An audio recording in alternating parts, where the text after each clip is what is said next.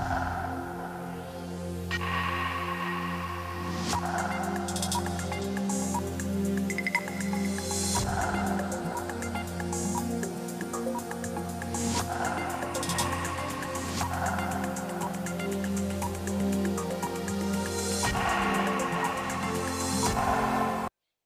Les obres de soterrament de les vies de Sant Feliu de Llobregat avancen a bon ritme i complint els terminis previstos més enllà dels sis mesos d'endarreriment per l'ocupació de l'antiga estació.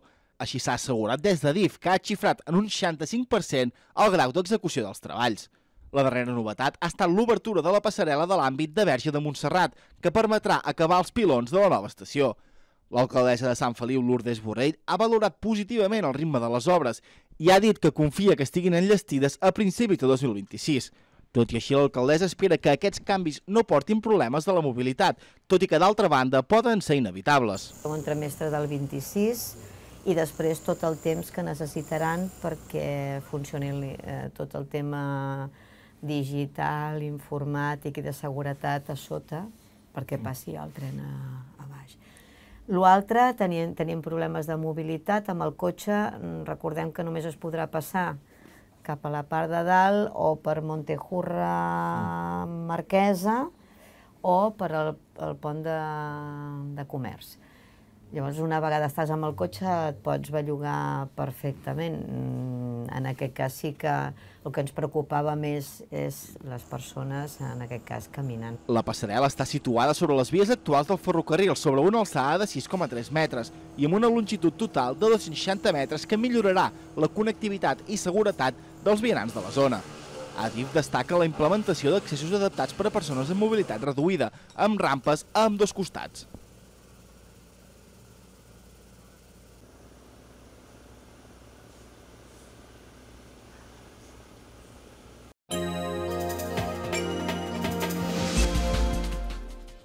Torrelles de Llobregat sancionarà els propietaris de parcel·les que comportin risc d'incendi per falta de manteniment.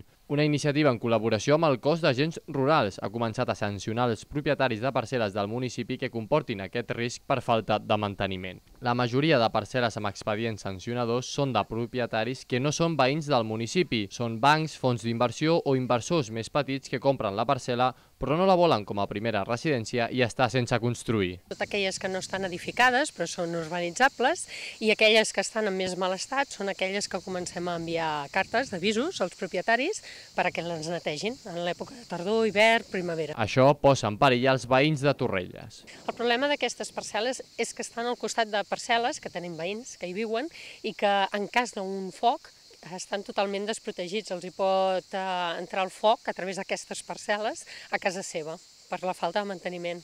Els expedients es fan a través de la Llei 5-2023 de protecció d'incendis i en els casos més greus poden arribar als 10.000 euros de multa. Dintre la mateixa llei de prevenció d'incendis s'estableix un seguit de, de condicions que han de tenir les parcel·les per considerar-se que estan netes i ben mantingudes i es focalitza sobretot amb la massa d'arbust i l'arbrat que hi ha a dins. Per la seva banda, anualment es fa la neteja de franges de seguretat i de zones verdes municipals, a més de comptar amb un dispositiu d'actuació reforçat amb l'agrupació de defensa forestal que de forma voluntària dona una cobertura diària.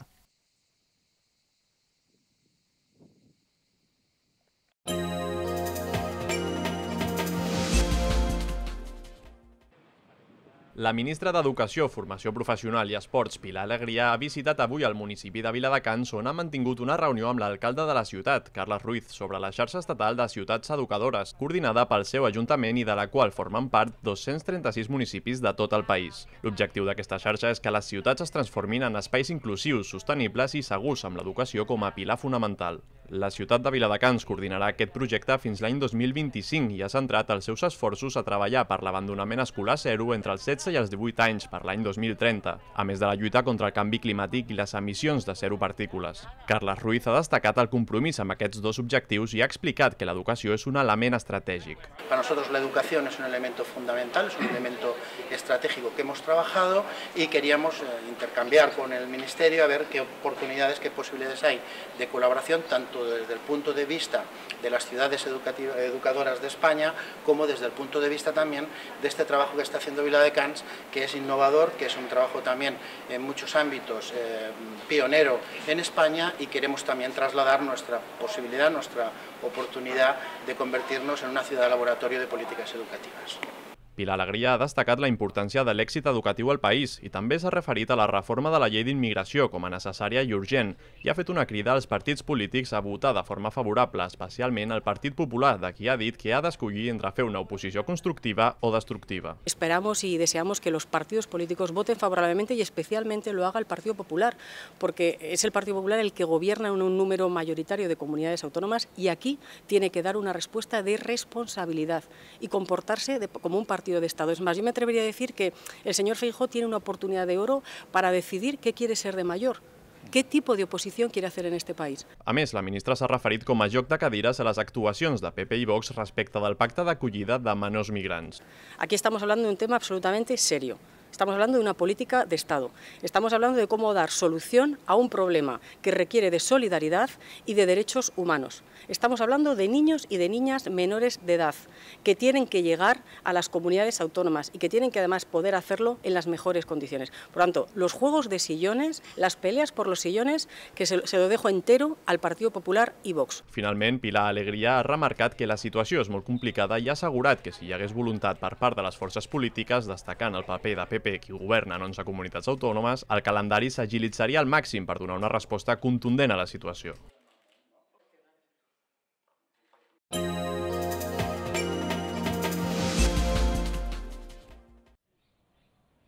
saluden a càmera contents i amb confiança, i és que la majoria d'ells, a l'Hospitalet, ja s'hi senten com a casa. És el tercer estiu que passen a la ciutat amb les seves famílies d'acollida. Durant aquestes vacances van al casal, fan excursions, visites a la platja i aniran de colònies. Les activitats amb aigua, però, sempre són les que més triomfen. Piscina. I a ti? Eh, playa o piscina i estan en la cosa molt bé perquè com que ja són repetidors, ja han vingut altres estius, és el tercer estiu que venen, doncs ja coneixen la ciutat, coneixen les famílies i nosaltres coneixem a ells i estem superbé, estan superintegrats. Enguany, 17 infants sarauís d'entre 9 i 11 anys passen l'estiu a la ciutat, lluny de les altes temperatures dels campaments de refugiats de Tinduf, a Algèria. En aquestes vacances també completen l'alimentació que tenen durant la resta de l'any i se'ls ofereix atenció mèdica. Tenim el protocol que el, més interessant, i important, és eh, les revisions mèdiques, és el primer que hem fet. Van arribar dijous, divendres ja es van fer l'analítica al CAP Just Oliveres, dilluns es van fer la revisió mèdica a la Clínica Baviera. I ara amb totes aquestes proves doncs, cadascú va al seu metge, al seu pediatre de, de zona per veure si hi ha qualsevol problema, doncs poder-lo solucionar. Hem d'analitzar doncs, cap a on volem portar-ho al llarg dels propers anys perquè hi ha una qüestió, aquest programa fonamentalment eh, es pot desenvolupat perquè disposem de famílies que fan l'acollida i també el que volem és doncs, com incorporem més famílies a fer aquesta tasca. Després de passar l'estiu, infants i famílies acollidores generen un gran lligam que es manté viu durant l'any. De fet, es programen diverses expedicions als campaments al desembre i per Setmana Santa, perquè amb dues famílies es puguin conèixer i conviure durant uns dies.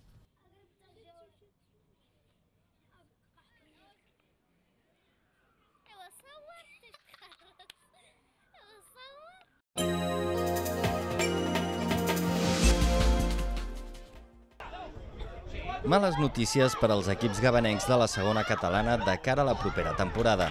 I és que la federació ha decidit que tant el Gavà com l'Sporting, acompanyats de Vistalegre i Cubelles, juguin al grup 6 corresponent a les comarques de Tarragona. La federació va aprovar fa dos anys convertir la segona catalana en interterritorial i segons el seu president Joan Soteres, els grups ja no es farien per províncies, sinó per proximitat.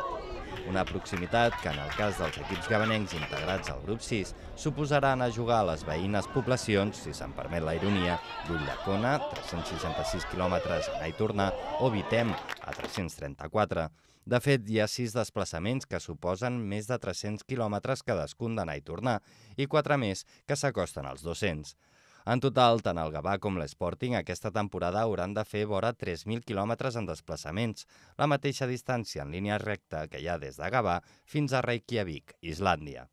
Tota una inversió econòmica en autocars i de temps en hores de viatge per a dos clubs que són amateurs. Són jugadors que, que són amateurs, són jugadors que tenen feines, que tenen famílies i et suposa anar a ull de cona, et suposa, doncs, en vez de les 3-4 hores de partit que et suposa el grup on estem, doncs te'n vas a les 6-8 hores per poder jugar un partit un dissabte. I això hi ha el risc d'agafar el cotxe tantes hores, llavors com que no volem agafar el cotxe, doncs la inversió d'intentar aconseguir un autocar, Bueno, és una barbaritat. O sigui, els quilòmetres que haurem de fer els equips, els tres equips que estem en aquell grup és, és una autèntica barbaritat. O sigui, són, comparat amb altres grups, no hi ha cap grup que s'hagi de fer tants kilómetros como nosotros tres. Eso implica probablemente que tengas que hacer o jugar e irte, por ejemplo, el día que vayas a Gandesa, si juega un domingo a la tarde, a las 5 o las 6 de la tarde, irte a las 3 de aquí, eh, terminas el partido y entre que llegas a casa o no, prácticamente pierdes el domingo entero. Eh, y evidentemente pues hay jugadores que no les importan, pero habrá otros que sí, que, que, que le dan importancia a ese hecho. Els clubs es lamenten també que el temps que els han donat és molt just per buscar alternatives que siguin més lògiques per als equips que es troben en aquesta situació. Davant d'això, en el cas de l'Sporting, es valoren totes les opcions. No nos toca de momento otra, a no ser que se pueda llegar a algún acuerdo con algún otro club eh, para hacer un cambio, pero está tan limitado también el tiempo. Eh, mañana se cumple, prácticamente salen los grupos el lunes y el jueves tienes que decidir o tienes que tener pactado con algún otro club. Es muy complicado porque no hay clubes en el grupo 3 de la zona de Tarragona. Eh, y cualquier otro cambio se hace muy complicado porque implica a, equipos de, de, diferentes grupos, que se podría hacer, pero implica a, a, muchos clubes y hay muy poco margen de tiempo prácticamente para poder eh, poner de acuerdo a varios clubes. Ara ens queda la, la pataleta de recórrer i l'aprofitarem, la, intentarem demanar el canvi de, de grup o que s'ho repensin per la situació que hi ha, si no entren a voler canviar res, doncs demanarem algun ajut econòmic o que, o que ells es facin càrrec d'un equip eh, amateur com el nostre. No, no, bueno, la despesa econòmica que li, que li implica estar en aquesta categoria és que et pot fer replantejar-te eh, doncs no voler participar. S'han de veure també les conseqüències d'una possible renúncia, perquè no es tracta d'equips que acaben de pujar a segona i en aquest supòsit podrien veure's obligats a baixar més d'una categoria. Mentrestant, els equips segueixen preparant la nova temporada i ahir el Gavà va incorporar dos nous jugadors, Arturo Picaseño i Gerard Lorca.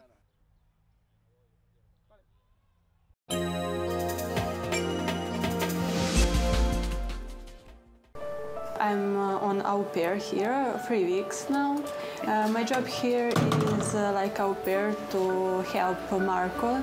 I uh, prepare breakfast for him or prepare backpack uh, for the summer camp, also some snack, and uh, I pick up him when he go when he finish with um, summer camp. We go to the park usually,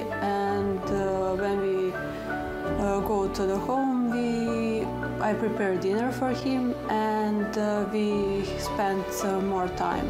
Hello, how are you? Good, and you, Yana? How's your day? Yes, it's very nice. Yes. Vam decidir contractar el servei d'un au pair eh, perquè tenim un nen de quasi 4 anys i sobretot doncs, per tindre una flexibilitat de temps que una cangur doncs, no ens oferia perquè n'havíem tingut i ho havíem intentat i també, doncs, sobretot, doncs, per tindre aquest intercanvi cultural, que crec que és molt enriquidor. Eh, a pair li donem la vivenda, que té una habitació per ella i un bany per ella, el menjar està inclòs i, a més a més, eh, 85 euros la setmana.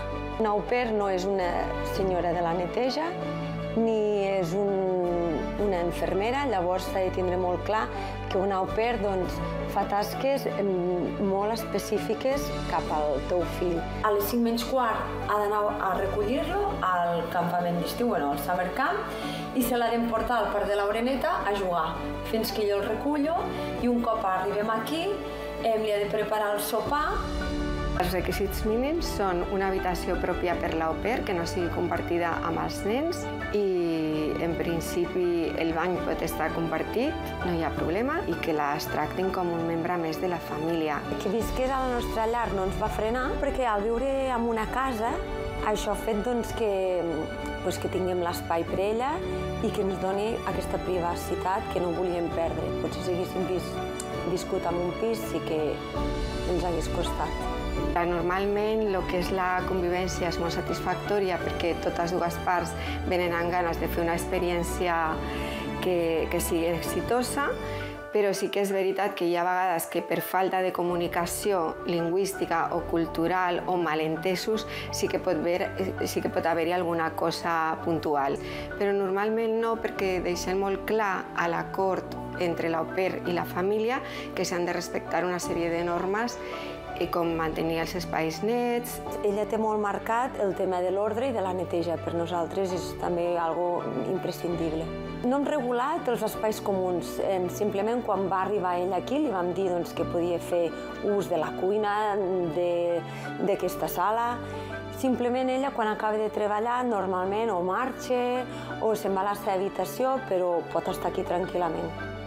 I a vegades les famílies les agradaria que les sopers estiguessin més eh, fent vida familiar amb, amb ells. Però, clar, eh, són moltes hores amb nens i també necessiten descansar. I hem de fer entendre a les famílies que no és una persona que estigui totes les hores a la seva disposició, sinó que és un horari de 5-6 hores al dia i amb això hi ha noies que sí que les agrada conviure més perquè són més extrovertides o més obertes, però hi ha noies que també les agrada més estar al seu espai o sortir més.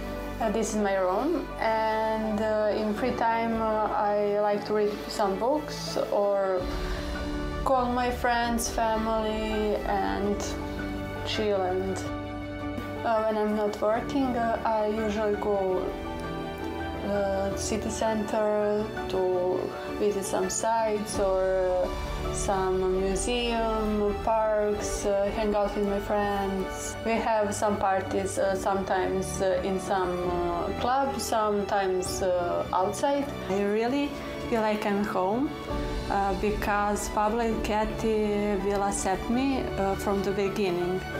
Uh, as a member of family and I'm very thankful for that.